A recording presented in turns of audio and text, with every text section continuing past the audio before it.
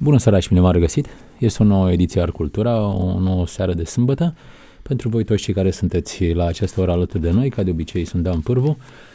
De această dată am plăcerea de a-l avea alături de mine pe domnul Mihai Lipate, istoric și reprezentant al casei de licitație Armark. Domnule Ipate, bine ați venit! Bună seara, mulțumesc pentru invitație! Eu vă mulțumesc pentru faptul de a fi dat curs invitației pe care v-am adresat-o. Vom vorbi, iată, despre uh, licitația pe care o propune Artmark, licitația intitulată Epoca de Aur, o licitație care înțeleg că se află deja la o a cincea ediție. Da, desigur. Să înțeleg de aici că obiectele din această epocă sunt prizate, ca să spun așa, căutate, dorite de către publicul interesat. Da, acesta este și motivul pentru care, începând cu anul 2014, anual au avut loc astfel de licitații cu această tematică. Spuneți-mi când ați pornit această idee, să spunem, Uh, v-ați gândit vreodată că ea se va repeta, va deveni ciclică? Uh, da, da. Da? Da. A fost un test înainte care s-a făcut? Uh, sigur, testul uh, a rezultat în urma a ceea ce s-a întâmplat după licitație și când s-a văzut succesul acesteia. S-au vândut toate obiectele? Sunt curios. Uh, la prima licitație? În cea mai mare parte, un procent foarte ridicat, ca și de altfel la următoare licitații. Foarte interesant. Foarte interesant și se poate divulga uh, unde au ajuns, în ce zonă, măcar așa, ca vârstă, cine sunt cei interesați să știți că sunt, să achiziționeze asemenea prin, obiecte? Printre cei care au achiziționat aceste obiecte se numără și tineri. Deci nu este o regulă să spunem în ceea ce privește vârsta, dacă v-ați fi așteptat să spunem la persoanele mature sau spre vârsta a treia. Mai degrabă nostalgii la, lucru, la un lucru de genul ăsta mă, să mă așteptăm uităm că totuși, Să motiveze un gest de a, asemenea da. natură. Să nu uităm totuși că în cadrul acestor licitații au fost obiecte care au aparținut lui Nicolae Ceaușescu în calitatea sa de președinte al țării. Deci, desigur, și din această perspectivă trebuie să privim lucrurile. Da. Există o încărcătură specifică, o aură. Unii poate ar denumi o negativă, alții, iată, nu se încarcă într-un fel sau altul cu, alături de aceste obiecte. Da, și atracția pentru lucruri care au aparținut uh, unor personalități precum președinți de state este mare și nu numai la noi în țară. Ați reușit să aveți colecționari și din străinătate legate de aceste obiecte? Um... Da, ok, dacă nu se poate, nu, nu e niciun fel de, de problemă. Era pur și simplu o curiozitate mai degrabă, aș putea să o numiți, bineînțeles, cu ghilimelele de rigoare, de, de rigoare științifică, așa, cine, cum poate fi interesat. Pentru că, mă rog, pentru istoria recentă a noastră, lucrurile pot fi privite cu mai multă sau mai uh, puțină degajare, dar uh, Exact, este e bine că se întâmplă. bine să le privim cu detașare. Da. Uh, spuneți-mi, uh, ce are această ediție față de celelalte? În primul rând, uh, numărul mare de loturi, adică de obiecte care fac obiectul acestei licitații. Și cu această ocazie aș menționa că în cadrul expoziției, care este deschisă, în cadrul Palatului Cesianu, da, sediul casei de licitație Artmark, există o expoziție și ea poate fi vizitată până în data de 31 inclusiv, adică cei care doresc uh, sau doar să vadă aceste obiecte, nu neapărat să liciteze, pot să o facă vizitând uh, această expoziție. Până la orele 19, când înțeleg că licitația va începe. Da, desigur și uh, cu această ocazie pot să vadă obiecte precum cadourile primite de Nicolae și Elena Ceaușescu, fie de la delegațiile oficiale care au vizitat România, fie de la organizațiile județene de partid sau de la uh, diverse alte persoane care căutau prin aceste moduri să-și exprime uh, gratitudinea, să spunem între ghilimele, față de conducătorul iubit, formula din mm. epocă. Bănuiesc că această gratitudine era un pic obligatorie, nu? Uh, nu neapărat. Uh, era Aș și un exces mențio... de zel acolo? Exact, era și un exces de zel. Cu această ocazie și în sensul ceea ce spuneți dumneavoastră, aș menționa faptul că la început acestea erau primite în reședința sa oficială, în Palatul Primăverii, după care adunându-se cantități semnificative, el a ajuns la Muzeul Național de Istoria României și încă de prin 1978 uh, au început să fie organizate expoziții pe săli întregi, deci care cuprindeau foarte multe obiecte, de această natură. Desigur, da. Da, am înțeles. Foarte interesant. Nu știu cum uh, era sentimentul cu care ieșai vizitând o asemenea expoziție. Cred că era unul destul de amestecat. Uh, da, pentru că um, să nu uităm printre cadourile pe care le primea Nicolae Ceaușescu, se aflau și obiecte um, de înaltă ținută artistică primite de la delegațiile străine sau cu ocazia vizitelor pe care acesta le efectua în diverse state și știm că a vizitat uh, numeroase state. E cazul și acestei licitații? Se pot vedea și obiecte de, desigur, desigur, de valoare artistică desigur. reală? Da, da, da. Dincolo de celelalte pe care le cunoaștem. Da, da. Și chiar, uh, mă rog, acum sau uh, pe parcurs putem să ne oprim asupra lor. Dar înainte de acestea aș dori să vă spun pentru ca ascultătorii să-și facă și o imagine asupra ceea ce ar putea să vadă pășind în această expoziție. Bineînțeles, vă rog. Există numeroase fotografii, inclusiv fotografii de epocă, dintre care unele cu caracter istoric și o să detaliez imediat.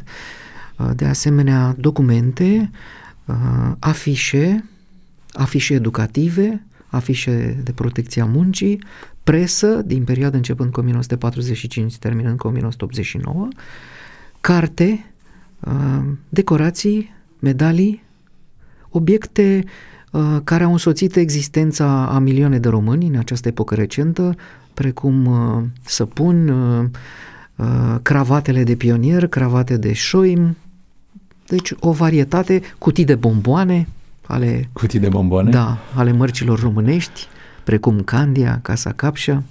Am înțeles. Trebuie la un moment dat să fie totuși emoționant, să te întâlnești așa cu propriul trecut. Exact, e o întoarcere în timp. Da. E imposibil să nu trezească un infinit de amintiri și atunci treaba devine cu atât mai, mai complicat de, de valorizat. Da, uh, alături de acestea aș dori să menționez și faptul că există unele documente care au fost uh, văzute sau ținute în mâine de foarte puține persoane. Și aici aș uh, menționa un lot format din patru documentare pentru zborul de importanță excepțională, așa cum erau ele intitulate în epocă, pentru uzul familiei Ceaușescu atunci când au vizitat Asia de Sud-Est în 1982, Siria în același an, Malta, Egipt, Sudan, Cipru, Pakistan, Siria în anii următori și fiecare dintre acestea cuprinde lista echipajului navigant, date despre aeroporturile de decolare, de aterizare, programul de zbor, situația privind pregătirea în zbor a echipajului, caracteristicile avioanelor, echipamente de zbor, schița avionului, date despre țările survolate, vizitate sau uh, meniuri de la Casa Albă, unde știm că uh, Nicolae Ceaușescu a fost invitat, invitații tot, sau felicitări primite de la uh, reprezentanții Casei Albe, de la uh, președinții Statelor Unite ale Americii. Am văzut sau uh, chiar Gerald Ford și exact, Nixon, Nixon, da, Nixon. sau chiar uh, programe ale acestor vizite care sunt uh, profesional uh, realizate, desigur, de comun acord cu ambele părți. Cred că sunt pasionante și pentru istorici. Desigur, ele sunt niște mărturii, niște Uh, documente, documentare. La prima mână. Exact. Uh, cum, cum se face colectarea acestor uh, obiecte? Există colecționari care doresc pur și simplu să-și diversifice, să-și, să-și îmbunătățească colecția și atunci depun acestea și doresc să achiziționeze altceva sau există și oameni care doresc să, simpli particulari, care doresc să-și depună spre licitare obiecte personale păstrate zeci de ani da. în casă. Da, e foarte, foarte interesant. Pentru cineva care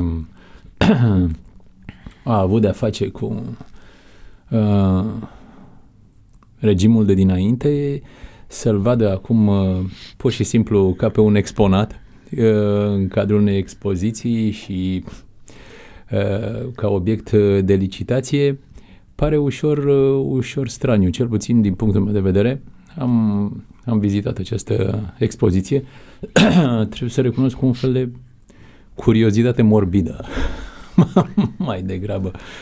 Nu țin neapărat să uh, reau contactul prea des cu epoca respectivă, dar uh, uh, cel puțin așa pentru o așezare a gândurilor uh, personală, să vezi că totuși, într-adevăr, totul trece și nimic uh, nu e bătut în cuie și indiferent de ce opinie ai despre tine însuți, asta vis-a-vis de Ceaușescu, numai dacă mă uitam la covoarele acelea cu, cu portretul lui ca salvator, ca vorbitor sau sceptru, uh, pe, pe care una dintre vitrine îl, îl prezintă acolo, sceptrul de președinte. Așa îți dă o senzație de, la un moment dat, de grotesc. Adică te gândești la câtă suferință a înglobat epoca respectivă, câtă putere, câtă teroare au simbolizat anumite obiecte din, din această expoziție, cum câtă, să spunem,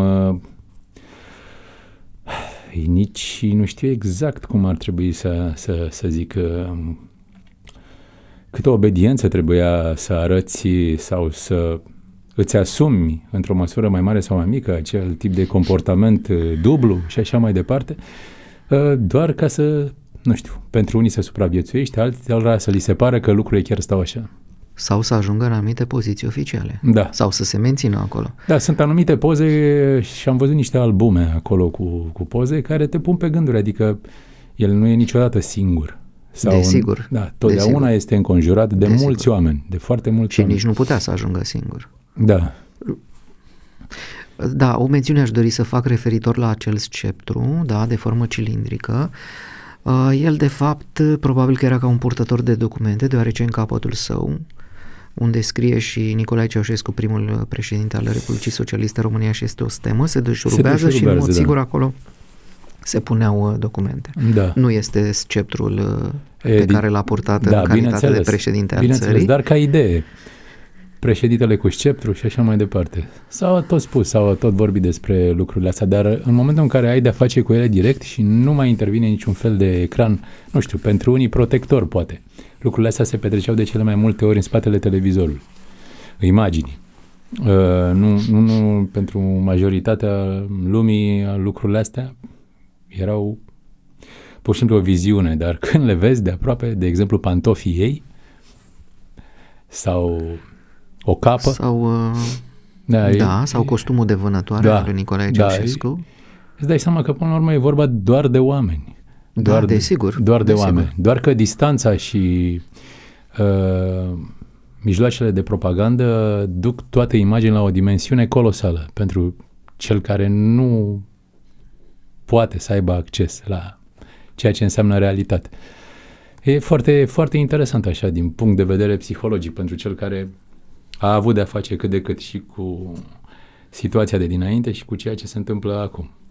Până la urmă toate, nu știu, unii ar spune că ajung uh, la tomberon, dar aici este o recuperare de la și readuse în circuitul uh, celor Știți, care sunt interesați. Deschid o paranteză, o mare problemă referitoare la istoria românilor da. este tocmai că ă, de fiecare dată, și asta mă refer nu numai acum, ci și în secolele trecute, foarte multe lucruri s-au aruncat, s-au distrus. Și chiar și pentru secolul al XIX-lea, mărturile scrise, spre deosebire de alte popoare, ă, sunt destul de puține. Există vreo explicație pentru asta? Greu de spus. Poate și mentalitate, poate că nu au uh, realizat în acea perioadă cât de importante ar fi aceste mărturii pe care să le lase. Și aici mă refer inclusiv la uh, vârfurile societății din acele vremuri. Deci ne uităm Spre exemplu, istoria. memorii, da, ale unor personaje, personalități de-a lungul istoriei noastre. Poate nu Inclusiv ne... pe secolul al XIX-lea. Da. Poate nu ne dorim să ținem minte prea multe? Sau poate istoria a mers prea repede pentru noi, în sensul că a fost o istorie destul de uh, dificilă, da? Ocupații străine, multe ocupații străine și de fiecare dată pentru a supraviețui a trebuit uh, să adoptăm diferite tactici, diferite politici, când cu arma, când cu diplomația și poate nu prea exista răgazul suficient liniștea necesară. Un muzeu al comunismului cum, uh, ar rezolva? Um, acest lucru, să punem totul acolo și cine vrea să își aducă aminte, poate să da, facă mă rog, pelerinajul respectiv. Mă rog, vorbind corect științific, nu putem să spunem de un muzeu al comunismului, da, comunismul, mă rog, era o rânduire care era ideală, a celor ani care au cunoscut diferite etape, când foarte grele în primii ani, când pe urmă s-a mai produs o relaxare, pe urmă iarăși odată cu problema ridicată în urma plății datorii externe care într-adevăr a dus România într-o situație foarte dificilă, deci au fost perioade și perioade mai grele, mai uh, liniștite, iarăși mai grele. Cam asta a fost istoria noastră și să știți că nu se, nu mă refer numai la ultimele decenii, cam istoria noastră națională se caracterizează prin astfel de suișuri și coborâșuri. Dar uh, așa am fost stâlpi și ai creștinătății, da? Precum se exprimeau papii, nu? Am avut Vorbim, și atleția lui Hristos. De, de Ștefan, da. Ștefan, da. cel mare, da. da. Era uh, o denumire extrem de măgulitoare. Sigur, sigur. Pentru... Și pe care papii nu acordau oricui. Da. Era și o recunoaștere, o formă uh, absolută de recunoaștere să nu uităm că totuși uh, țările române n-au ajuns niciodată pașalăcuri. Doar mici teritorii smulse pe linia Dunării au ajuns pașalăcuri. Da, au ajuns țări din centrul Europei pașalăc. Da, asta este adevărat. Uh, nu știu cum uh, fac profesioniștii istoriei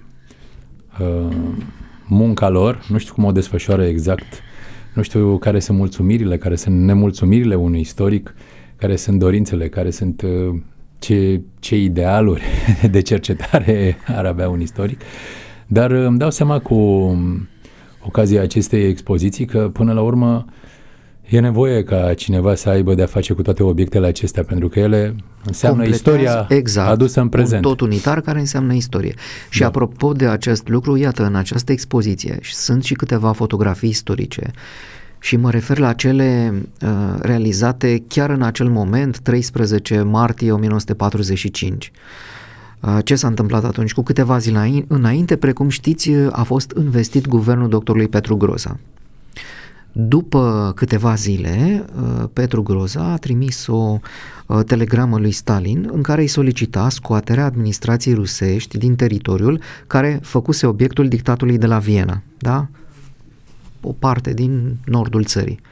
Și în urma acestei solicitări, administrația rusească a fost uh, scoasă din acest teritoriu al țării. Și acele fotografii ilustrează acel eveniment, acea adunare și semnarea acelor documente. La acel eveniment a participat uh, alături de guvern și regele Mihai. În uh, expoziția noastră nu avem și fotografii cu regele Mihai participând la acel eveniment, doar cu membrii guvernului și cu uh, restul oficialităților române și ruse.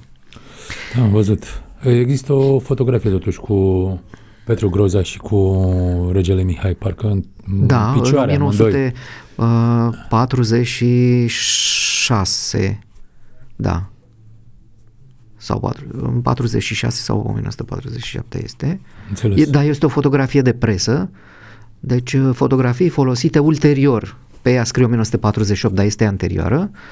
Um, pentru că mm, erau realizate de către agențiile de presă sau diverse ziare, reviste, uh, diverse articole și atunci uh, foloseau aceste fotografii de presă, care nu neapărat datau din acel moment. Am înțeles. Apropo de fotografii, am văzut și un set de fotografii personale ale cuplului Ceaușescu. Da, sunt uh, fotografii de colecție, sunt fotografii rare, greu pot fi văzute și ele ilustrează Cred că unele dintre ele momente... sunt în premieră adesea da, în fața da, publicului, da, nu? Da, Ați văzut uh, cea ilustrându-l pe Nicolae Ceaușescu într-o costumație obișnuită, informală, da, în uh, curtea casei, probabil la Scornicești.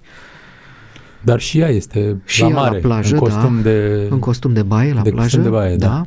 De asemenea, mai sunt fotografii pe nava prezidențială Igreta, navă construită în România în 1985. De asemenea, mai sunt fotografii uh, făcute în reședința de la Neptun, cu ocazia unor ședințe de lucru, ați observat că unele chiar uh, reflectă uh, machetele cu uh, centru civic din București. Da. E foarte important să, să ai răbdare cu, cu tine însuți. Și bănuiesc că istoricul uh, este cel mai îndrituit să facă lucrul ăsta și exercițiul ăsta tot timpul. Trebuie să ai răbdare cu propria istorie. Altfel, uh, viața te duce tot timpul înainte. Bănuiesc că uh, mi-ați spus înainte de emisiune că această licitație se va desfășura online. Uh, iar mi-aduce aminte de acea, acel ecran între tine și uh, între cel interesat și o, o, obiectul respectiv. Istoricul întotdeauna are de face direct uh, cu, cu, cu obiectul, cu informația. Rare ori are uh, privilegiul de a fi în timp real și cu un eveniment care, într-adevăr, uh, are o, o semnificație aparte. Profit de această uh, posibilitate de a vorbi cu dumneavoastră și în calitate de istoric, pentru că uh, mi se pare o, un moment uh, mai deosebit. Uh, a cincea ediție cu obiecte din uh, epoca de aur. Atestă faptul că se doresc aceste licitații. Iar... Care ar fi obiectul fascinației, de fapt? Ce fascinează la toată această treabă? La această epocă? Probabil că uh, mulți da, mulți dintre cei care vin să o vadă sau cei care vor să participe la această licitație uh, și e și firesc, da, sunt legați de această perioadă în care probabil erau tineri sau maturi sau copii. Uh, bănuiesc că pentru cei mai tineri este și o curiozitate, nu? Până la urmă. Iar apropo de această licitație online, să știți că cei mai mulți uh, licitatori sunt din mediul online adică acesta nu este un impediment, iar uh, toate licitațiile, fie că sunt transmise online sau au loc în sediu, uh, Anterior uh, sunt ilustrate prin expoziții da, care conțin tocmai aceste loturi care fac parte din licitație. Puteți să ne mai spuneți câteva dintre ele? Da, sigur.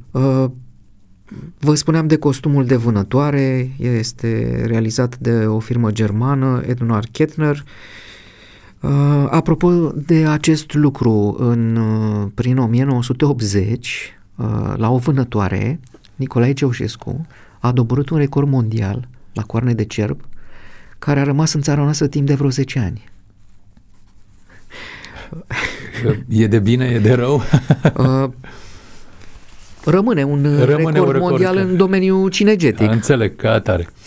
Da. Uh, pot fi uh, văzute și afișe purtând uh, semnături ale unor reprezentativi caricaturiști precum Cic Damadian, uh, Iosif Ros, uh, Mihail Gion, de asemenea un obiect uh, uh, valoros, uh, reprezentativ. Este vorba de un cadou pe care l-a primit Nicolae Ceaușescu uh, de la o firmă americană uh, cu ocazia înființării, cu ocazia mm, celor 10 ani de la înființarea acestei firme. Este vorba de o bancă în Manhattan Hanovra Trust Company Uh, și ce este interesant este faptul că a fost realizat de uh, o manufactură americană foarte cunoscută pe numele său Steuben Glass Works și această manufactură a fost uh, înființată în anul 1903 de către un uh, sticlar englez uh, și de un producător american de cristaluri. E, acel sticlar englez pe nume, pe nume Frederick Carder uh, a lucrat anterior cu Peter Faberge. Iată. Iată. Poate ar fi bine să spunem câteva cuvinte despre Faberge. Da, el este un uh, renumit uh, creator uh, de obiecte de artă decorativă și aș include aici, bineînțeles, arhicunoscutele o, o Faberge, Faberge, da. Care au făcut uh, obiectul mitologiei exact. Revoluției postbolșevice. Da, și mă rog, ca o paranteză, această revoluție l-a, l-a afectat profund și în ceea ce privește manufacturarea obiectelor pe care le producea obiecte de lux, cu anumită adresabilitate, Dacă îmi permiteți, foarte decorative. Uh, am reușit să fac și o, o poză unui, unui poster, altfel nu pot să-l uh, definesc. Bănuiesc adresat copiilor, dar ca idee... Ce legat de regulile de circulație? da. Să știți că eu mi-aduc aminte de aceste afișe, erau în școală, da, pe vremea când eram mine, elev. Da, pe mine nu mă deranjează afișul. Bine și mi-aduc aminte că existau, dacă vă aduceți aminte, acele echipe de da, elevi da. însoțite da. de un milițian, da, uh, care um, să spunem între ghilimele, dirigeau uh, circulația, circulația da. micilor da. pietoni da. și chiar aveau mănuși și uh, un însemn cu stop, da, opreau uh, da. mașinile ca să treacă cei mici. Mm, pe mine, pe mine m-au uh, fermecat cu ghilimele de rigoare versurile. Uh, da, vă referiți la cele uh, ale unor autori cunoscuți dedicate... Nu, păcala este bun de șagă, ah, el înțeles. semaforul nu-l știe în fugă ar fi vrut să treacă, noroc că l-a oprit Ilie. este, nu știu, e așa, foarte spontan, ca să nu da. spun altfel. Pe fel. înțelesul copiilor, să spunem pe așa. Pe înțelesul copiilor, da. Săracii copii nu aveau nicio vină. Puteai să faci un pic mai mult efort, cel puțin din punctul meu de vedere, și măcar numărul de strofe sau, nu știu, de, de toată structura să fie mai simpatică. Da. Vorba unei scenete celebre, n-au găsit altă rimă. N-au găsit altă rimă, asta e, e foarte adevărat. Dar aici au găsit uh, uh, cadența perfectă. Da. Întotdeauna mi se pare că ceva șchioapătă în, uh, în toată treaba asta. Și că oricât ai ceva ca un fel de blestem, oricât ai încercat să pui lucrurile la punct, ele alunecă și ajung uh, așa într-un fel de derizoriu. Da, mă întrebați mai devreme uh, de unde și această atracție, atractivitate, uh, pentru că unele chiar erau niște simboluri naționale, astfel în această licitație avem o machetă foarte frumos realizată a unui tractor da, realizat de, de usinele uh, tractorul Brașov. Da. La vremea aceea o întreprindere mare care avea peste 20.000 de angajați și care producea cam 50.000 de tractoare în fiecare an, dintre care jumătate plecau la export. Mai mult, existau și patente în străinătate ale acestui tractor, adică era apreciat, era un lucru de calitate. Prin 1960 deja sunt înlocuite componentele străine și se realizează efectiv cu uh, integral uh, cu piese românești. Da, da, era un purtător de steag, da, cum se zice acum un flagship, da, uh, al uh, industriei românești. Și probabil și aceste lucruri atrag, știți? Da, bineînțeles. Oricum... Mai ales că nu, nu mai există, din păcate, multe da. aceste lucruri care, să spunem, uh, într-un, într-o anumită formă și uh, la un anumit nivel uh, reprezentau și uh, țara noastră. Da. Uh, Adică probabil că e vorba și de o mândrie că, națională. Da, nu totul este rău. Dacă vrei neapărat să găsești și lucruri de valoare și lucruri bune, bineînțeles că poți să găsești. Numai că, uh, nu știu, probabil că este o, o, o treabă personală în, când de fiecare dată când mă apropii de această epocă am așa o, o reținere. nu știu de, de ce și mi, mi-e greu să, să fiu convins acolo și mai ales când am văzut și afișele acelea foarte simpatic desenate. Mă gândeam la toți oamenii care încercau și ei totuși să-și facă meseria, să facă ceva cât de cât uh, care să fie comestibil din punct de vedere uh, Vă estetic. dați seama că totuși uh, Bănuiesc că trebuia să treacă prin nu știu câte aprobări, nu da, știu câte da, vă cenzuri, că câte comisii. Nu putem câte... să negăm faptul că erau și lucruri uh, bine făcute, că altfel nu da. ajungeau la export, da, nu le importau. Bineînțeles, bineînțeles. Um, apropo de afișe, sunt două afișe, ați văzut, uh, pictate pe sticlă, ADAS. Da. E, și aici aș menționa faptul că uh, chiar și în acea perioadă, administrația aceasta asigurări de stat era o firmă foarte serioasă care lucra cu companii din Elveția, Germania, Marea Britanie și era la curent cu tot ce se întâmpla în lumea capitalistă a acelor perioade.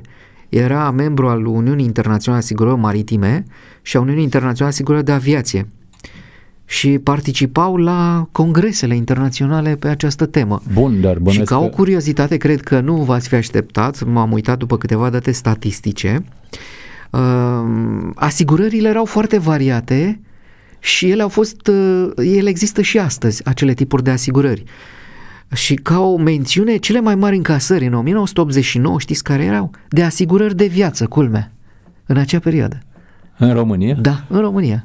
Da, nici l-am știut că se făceau asigurări de viață înainte de 89. A, se făceau și uh, cele mai multe erau uh, cele legate de bunuri, de case, mașini, inclusiv pentru persoane de risc, cu risc de invaliditate, de ce, supraviețuire, de răspundere civilă, de riscuri de vătămare corporală, nu? Uh, și pentru mine a reprezentat o surpriză, dar documentându-mă am aflat toate aceste lucruri. Interesant, nu? Interesant, bineînțeles. Da. Da. Până unde mai se... Este, mai este interesant un album da. uh, care reflectă vizita de prietenie făcută de președintele Bulgariei, Todor Jivkov, în România în 1980 și printre, desigur, diverse locuri pe care le-a văzut, unde, credeți, unde credeți că a poposit? Și la Peleș, la Castelul Peleș. Și există imortalizate aceste momente cu vizitarea Castelului Peleș în 1980. Voiam să vă întreb, uh, până unde se poate merge cu interesul legat de această epocă? Bănuiți că o să mai fie încă o ediție la anul? Uh, da, eu cred că da. Cred da. că da. Se pare că e inepuizabil.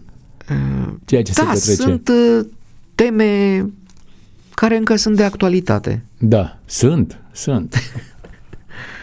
uh, Neagu Giuvara spunea că uh, sunt uh, toate aceste uh, lucruri care ne marchează din comunism au ajuns deja la nivel de ADN.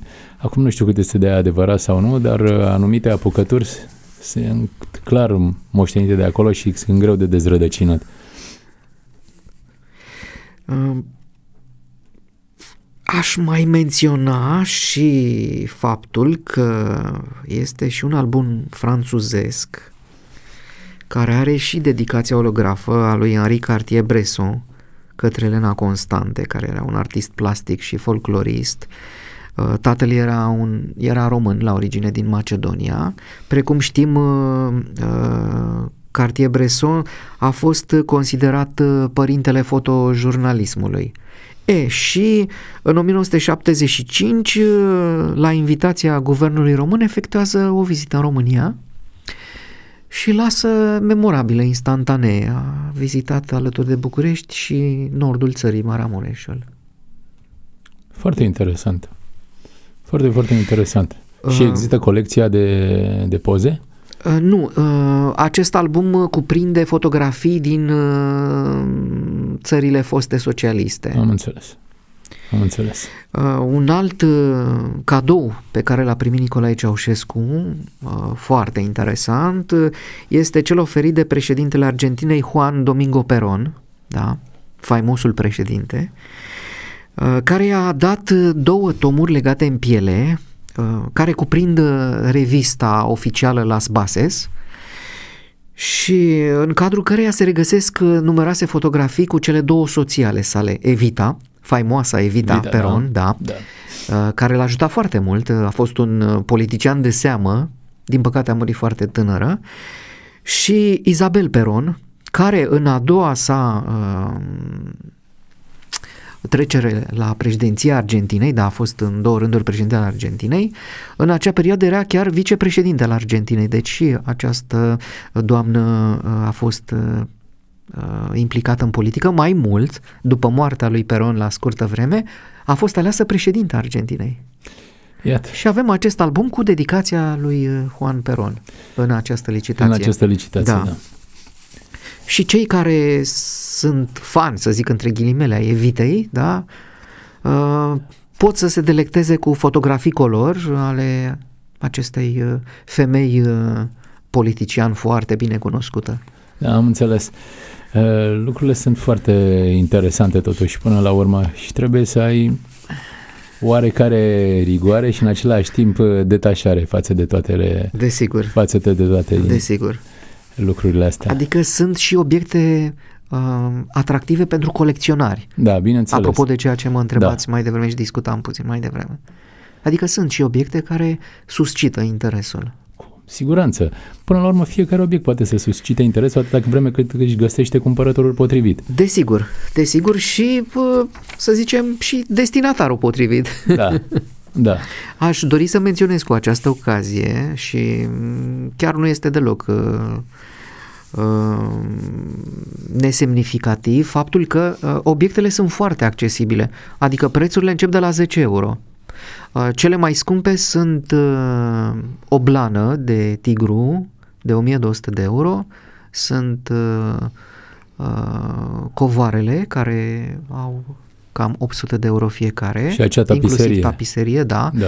Care să știți că este uh, mai deosebită, este din tiparele epocii. De ce? Pentru că alături de cuplu uh, apar și părinții lui Nicolae Ceaușescu, mama Eu, și tatăl acestuia. Uh, aș face obiect de studiu din acea, acea tapiserie pentru cei uh, de la, uh, de la institut și pentru oricine. Vă dați seama că peste 100-200 de ani cam totul va face obiect de studiu. va face obiect de studiu. Dar mie mi se pare foarte, foarte interesantă acea tapiserie, modul la care este făcută ancadramentul celor patru personaje este ceva... La masă, vă da, referiți, da. este ceva fabulos din, da. din, da. dintr-un univers paralel și al esteticului și în general așa Dar al, al că, înțelegerii obiectului da, ca atare. Și, apropo de ce discutam și mai devreme, există mărturii care se găsesc Ab- și care atestă faptul că de fapt nu era deloc uh, impresionat de nu, nu să spunem că ar fi uh, dorit aceste obiecte sau uh, Uh, era dornic să le expună sau să le folosească. Dar atunci cum s-a ajuns uh, la acest E vorba de acest cult al personalității, care până la urmă a fost exacerbat și a dus la o maximă. Dar spuneți-mi, am pe mine mai izbită acea tapiserie a, știți cumva, are vreo istorie mai deosebită? Din păcate, din păcate nu avem uh, date despre da. anumite loturi, printre care și acestea sigur ar fi fost foarte interesante. Este cu totul și cu totul specială acea tapiserie. Nu, nu pot să înțeleg cum uh, cine a făcut proiectul, combinația, nu știu dacă și el a intervenit uh, asupra obiectului. Nu, nu, Teamă mie că nu. Nu, nu, nu, nu, nu. nu. Dar totuși e, Știm uh, locul de proveniență, de unde nu se cunoaște. Cine nu, a fabricat uh, lo, o parte obiectul din, respectiv? O parte din aceste obiecte știți că au fost uh, scoase de-a lungul anilor la licitații de către RAPPS da. și astfel au ajuns în posesia diferitelor persoane. Da. Dar uh, detalii nu se prea știu sau descrieri amănunțite sau lucruri legate de proveniență, adică să spunem cine a fost cel care ar fi depus acel omagiu. Pentru că să știți că erau și simple persoane din țară care da. trimiteau astfel de cadouri. Adică nu neapărat județele de partid, Am da? Înțeles. cum avem un set de pahare de cristal Bine, pe care l-ați văzut în expoziție. Un, un, un cadou mai costisitor un pic da, totuși. Da, sigur. Și, aveai... și care vă dați seama că totuși a necesitat și o anumită muncă și răbdare în da, realizarea bineînțeles, ei. Bineînțeles, bineînțeles. Realizarea ei este ceva și, uh, care depășește fantezia. Da, da. E, cu totul și cu totul de aur, aș putea spune. Ar putea fi într-adevăr un simbol al epocii respective. Pe da, care, da, cu, și... pe care cu uh, îndreptățită mândrie, așa era formula? Da, da, da. da o da. numim... Uh... Da, dar uh, știți că existau anumite persoane care se ocupau de toate aceste, aceste aspecte legate, nu? De modul în care uh, erau gândite aceste prezentări, să le spun între ghilimele. Da. Că nu erau creația lui. Cred că e foarte mult de scris și de explicat și mai ales de analizat uh, și din punct de vedere psihologic tot ce s-a întâmplat și în uh, perioada Ceaușescu și în general în tot uh, regimul care a intervenit din 47 până în 89. Uh, e, sunt foarte multe mecanisme care s-au declanșat, altele care s-au inhibat, unele care s-au exacerbat, iar această tapiserie cred că spune câte ceva. Să știți că nu este ceva din toate... ieșit din tiparele istoriei Pentru că de-a lungul secolelor și la noi... Nebunia da, ne caracterizează. A fost... Da, doar că aici mi se pare că e ceva din zona... Știți, ar fi fost foarte interesant să se fi păstrat autohton. mărturii, da, foto sau pe cameră, filmate, da. Uh, surprinzându-l ce figură a făcut când a văzut astfel de cadouri. Chiar sunt, mai ales că ați văzut multe, nici nu seamănă cu figura lui. Unii au încercat săracii să, să facă acolo câte ceva, dar este cu totul și cu totul de aur. Ce, ce, se, ce se petrece? Altfel... Uh, Altfel nu se poate spune. Oricum, pentru încheiere, pentru că ne-am uh, apropiat de final, uh, mai avem un minut, uh, cu cei uh, înbiați pe cei care ne-au ascultat? Uh, expoziția în poate fi vizitată. Îi, sigur, în primul poate rând îi invităm să viziteze această expoziție. Expoziția este deschisă până uh, la orele șapte seara, pot să vină să o vadă, uh, să-și amintească cu diverse sentimente pe care le are fiecare, dar uh, totodată să privească detașat, cu atât mai mult, cu cât vă spuneam, există în cadrul acestei expoziții uh, și documente legate strict de istoria României. Da. Etape prin care am trecut, cum vă spuneam și la acele evenimente, care sunt imortalizate uh, fotografic ca o carte deschisă. Și apropo de carte deschisă, avem și o carte deschisă în marmură care cu două are și panseuri. Două, Altfel da, nu pot să le spun. citate din Lenin și, și Gheorghiu Stalin. și Stalin, da. da. Um, și Gheorghiu Dej. Da, Gheorghiu Dej da, și Stalin, da. da. Puteți să le, le citați? Uh, nu le-am notate. Da, știu că parcă la Stalin începe așa, pacea se impune, nu, nu se cerșește. Și sincer nici nu Pe, eu, m-aș fi gândit nu, să La le... Gheorghiu Dej n-am continuat pentru că treceau prea multe rânduri acolo, dar asta cu pacea se impune, nu se cerșește, am, am reținut-o. Și era lui Stalin. Da, uh, Mă rog, este o sculptură semnată Jalea, mai avem și câteva semnate Baranski. Da, da, da, da, da. da. E bine să, da. să spuneți aceste nume. Dar, aici. apropo, iarăși, ă, de-a lungul istoriei umanității, artiștii, da, au realizat la comandă, da. fie că era vorba de împărați, de uh, dictatori, da, da, de regi. Slavă Domnului, au dreptul să aleagă. Sigur.